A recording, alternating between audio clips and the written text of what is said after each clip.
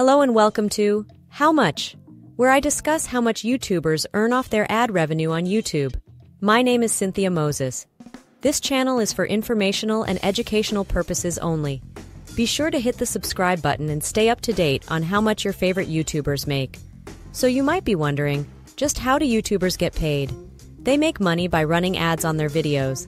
The money earned is determined by the channel's CPM, cost per thousand views. Most channels on YouTube earn a $4 CPM. That's $4 per 1,000 views. That is a very conservative estimate, as CPM is determined by the demographics of the viewers, where they are viewing the video and what time of day it is. The CPM can also be higher depending on the channel's content.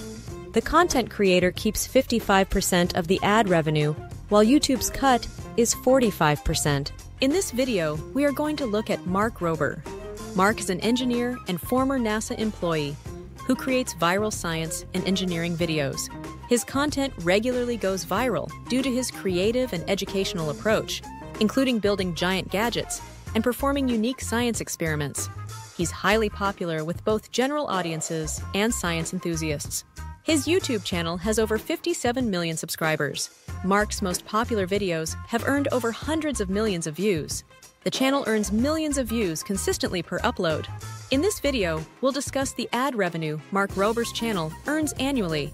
Mark Rober earns close to 322 million views per month with a 4% CPM. Let's see where Mark is at in ad revenue. 322 million views times 0.004 equals $1,288,000 per month. YouTube takes 45% of the ad revenue and Mark keeps 55%, 1 million.